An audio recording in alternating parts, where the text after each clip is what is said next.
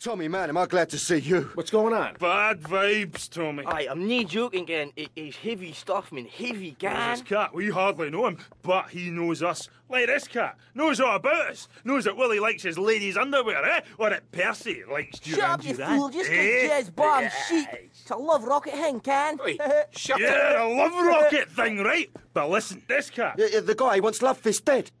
Dead, Tommy. Love Fist, gone. You know what they say, the good die young, but Tommy, you've got to save Love We've got a signing in two hours, and I think. Yeah, and- and the boys think the stalker's going to try some monkey business there.